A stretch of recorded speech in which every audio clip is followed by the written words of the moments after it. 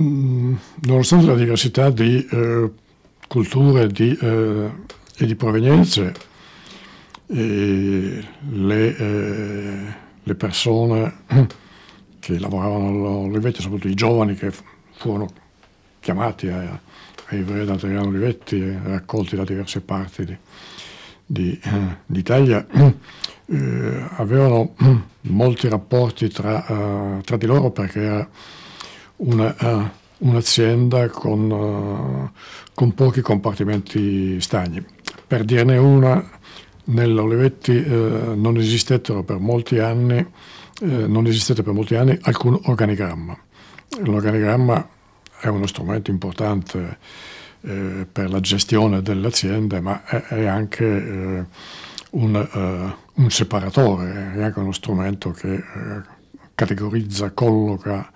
le persone in certi reparti piuttosto che in altro e li separa. Non ci sarà un rapporto diretto, ma sta il fatto che sebbene l'Olivetti avesse la divisione produzione, la direzione commerciale e così via, come, come ovvio, non esistevano confini eh, rigidamente definiti da un organigramma. I primi organigrammi furono disegnati dal mio ufficio diversi anni dopo che l'Adriano Adriano Rivetti era, uh, era scomparso. E i contatti erano